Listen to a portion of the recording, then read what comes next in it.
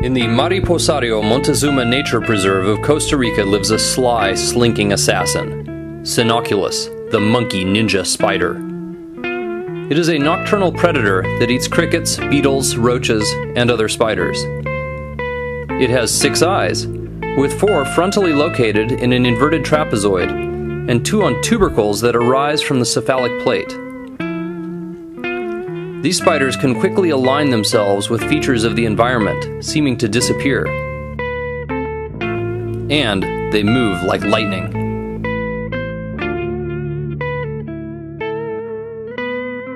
They have a dense fringe of hairs on the bottom of their legs.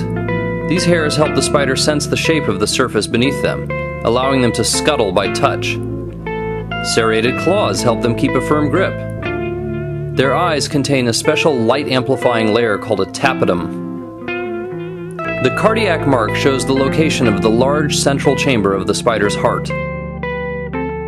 This monkey ninja spider has caught a leaf beetle. Venom injected through the fangs dissolves the beetle's flesh, and the spider slurps up the slurry. Like many young spiders, this juvenile Senoculus practices ballooning. Fastened firmly to the branch by a silken dragline, the spider uses its spinnerets to fan a very thin, sheer streamer of silk into the air currents. If it catches on something, the spider will pull it taut and hang suspended. Then it dangles rigidly, looking like a leaf in the breeze, until it can escape from danger. This female is gravid, full of eggs, and will need to find a crevice in which to lay them. Very little is known about the courtship and mating rituals of this family. The female genitalia look like this. The reproductive organs of male monkey ninja spiders have not yet been captured on video.